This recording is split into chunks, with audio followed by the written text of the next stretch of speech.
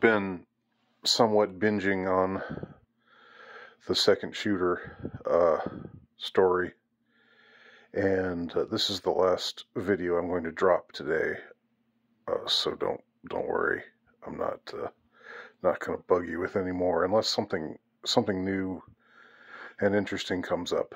But I do want to say a little bit more about my assessment of sorry I had to check on his name because I'd forgotten it Ryan Routh and I'm I'm pronouncing it Routh although I've heard some people pronounce it Ruth just because it's spelled R O U T H and Routh seems like the most likely pronunciation but I will correct myself if if uh, if it comes out that that it's pronounced Ruth. Um,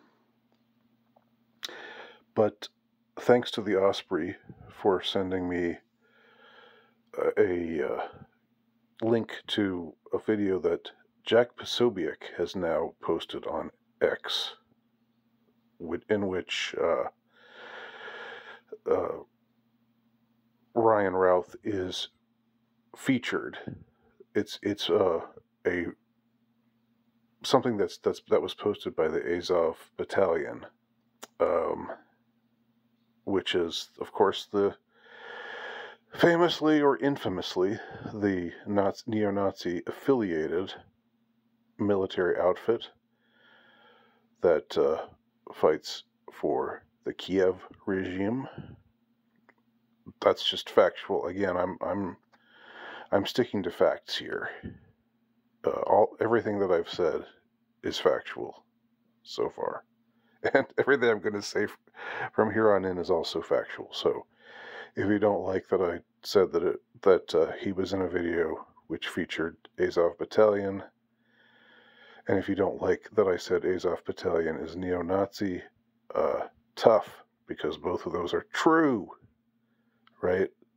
It's not Russian propaganda. It's it's factual. So so this guy, I mean, what what's what has emerged, uh, and it, it's it's interesting how the mainstream media has just opened up about it. Uh, I, I spoke about this in the earlier video. The, this this guy was uh, was a recruiter for Ukraine. He actually spent time in Kiev. He flew out there. There are pictures of him in a suit and tie in Washington D.C., um, where he's he's you know, active. You know, very very very busily, very uh, uh, very enthusiastically active in attempting to recruit people from all over the world, either to go to Ukraine to fight for the Kiev regime or to, at the very least, contribute money to the Ukraine war effort. And it's the war effort, it's not human- for humanitarian aid. Um, it's for Ukraine to fight the war against Russia. I mean, there are there have already been getting billions of dollars worth of, of aid. That's factual too. You may not like it. But it's not Russian propaganda to say it. It's it's the facts. So so he's in this video uh, for Azov Battalion. He's not he's not prominently featured, but he's a part of it. He's he's shown responding emotionally to the speaker who is who is uh, probably a neo-Nazi. I mean, the whole the battalion has never repented for having a a uh, neo-Nazi outlook uh, and philosophy and ideology. And I know that some people might not like me saying that, both both uh, from the left and the right, but it's just it's true. That's what Azov is. So so he's in that the video for uh, for Azov Battalion. He's in.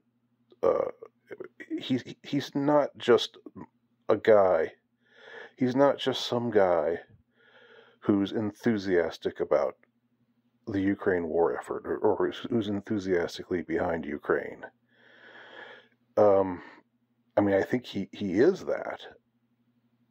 I, I, I don't doubt his commitment to the cause, but he's obviously a guy who has connections.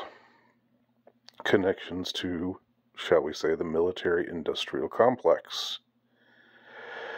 Because the reason why I say that is because he he's he's flying back and forth to Ukraine. He's flying into Kiev. I assume he, he flew there. Uh, he he talk, talks about traveling the world. He talks about attempting to recruit Afghani uh, fighters for uh, the Kiev regime. Um, you know, on whose dime is he traveling the world? On whose dime is he flying to Ukraine and going visiting Washington D.C. when when he lives in Hawaii. I mean, that's that's even more expenses. Um, now, maybe he's independently wealthy, and this is all on his own dime. Um, I just know. I I mean, I'll, I'll I'll I'll give the benefit of the doubt and say that's a possibility, but I just know that some guy is not, you know, no matter how dedicated he is to the cause, is not going to be given that kind of position um, as an official recruiter of foreign soldiers for for the Kiev regime in Ukraine. Uh, I mean, there he's he's profiled in uh, in Newsweek, New, Newsweek Romania uh, was the, I guess the the branch of Newsweek magazine that that uh, published this interview uh, with him um, in 2022. And Newsweek has come forward with, with this fact. And the New York Times also profiled him in something that was written, I think, last year and they also came forward and said, "Yeah, he was one of the one of the guys we were profiling." Um, the mainstream media, as you know, is very pro war in Ukraine, pro supporting the Kiev regime, pro Zelensky, as is the political establishment. This is this is like a sacred cow to the political establishment because not not because they care. I'm not no. So this is the only time I'm expressing an opinion here. I don't think it's because they really truly care about people in Ukraine. I think it's because they want to fight a proxy war against Russia, and uh, so NATO is an or, or Ukraine is a NATO proxy. All right, that's my opinion. Um, but everything else I'm saying is completely factual, uh, according to documented sources. So don't come at me uh, saying misinformation. I'm just saying that. Um,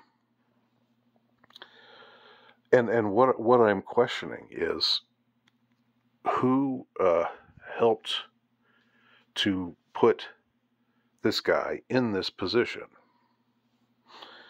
Uh, because, again, if you or I or any other ordinary person were just enthusiastic about Ukraine and, and you know wanted to wanted to do whatever we could for Ukraine, uh, or for the Kiev regime, I should say, because not not uh, everyone in Ukraine feels the same way uh, there are there are people in Ukraine who who want to be independent and who want to be allied with with Russia.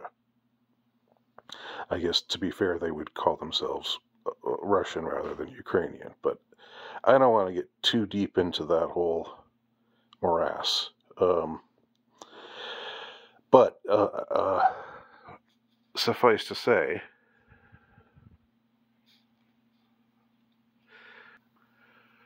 the ordinary person wouldn't.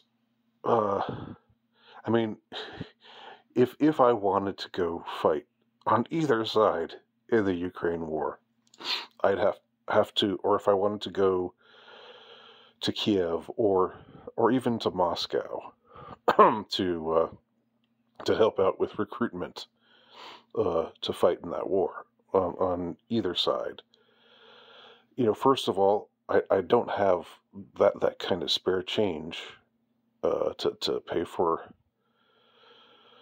to pay for the flight, to pay for room and board, uh, uh, uh and and again he talks about traveling across over the world. So uh, where who's kicking him that dough?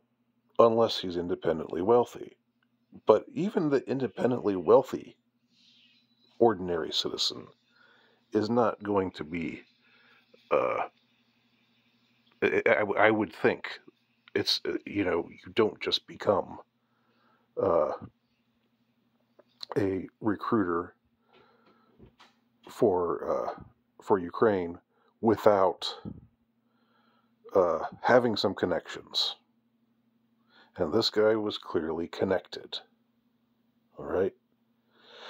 Now, is that a smoking gun? Does that prove that uh, he uh, was put up to this uh, this attempted deed by the military-industrial complex? Admittedly, it's not a smoking gun, but it is pretty damn suspicious. And if you don't look at this and think this is sus, then again, I don't know what to say to you. I just don't know what to say. Um,